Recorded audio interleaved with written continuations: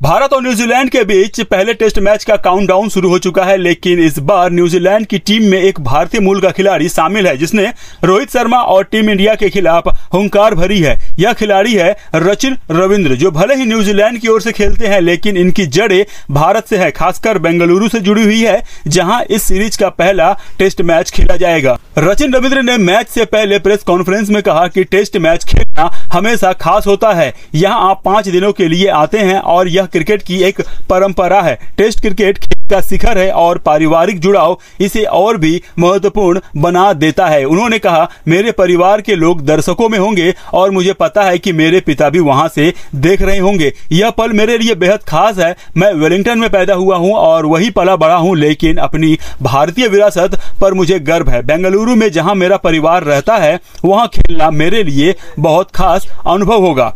दरअसल, रचिन रविंद्रन भरे ही न्यूजीलैंड में पैदा हुए हों, लेकिन उनकी जड़ें भारत के बेंगलुरु शहर से है, उनके माता पिता इसी शहर से हैं, उनके दादा दादी अभी भी यही रहते हैं अब वह अपने घरेलू मैदान पर टेस्ट क्रिकेट खेलने जा रहे हैं। रचिन पहले भी आईपीएल के दौरान भारत में खेल चुके हैं, लेकिन उनके अनुसार टेस्ट क्रिकेट का अनुभव कुछ अलग ही है। उन्होंने इस मौके को खास बताया और कहा कि यहाँ खेलकर उन्हें काफ़ी मज़ा आएगा। अगर टेस्ट क्रिकेट में उनके प्रदर्शन की बात करें तो रचन रविंद्र ने नौ टेस्ट मैचों में 18 पारियों में छह सौ बहत्तर रन बनाए। उनका औसत लगभग उनचालीस का है, जिसमें एक शतक और तीन अर्धशतक शामिल है। रचिन रविंद्र, जिनका दिल भारतीय है लेकिन पैदाइश न्यूजीलैंड की है। इस टेस्ट सीरीज़ के लिए पूरी तरह तैयार हैं और भारत के खिलाफ उन्होंने हंकार भर दी है। अब देखना यह होगा कि वह पहले टेस्ट में क्या कमाल दिखा पाते हैं।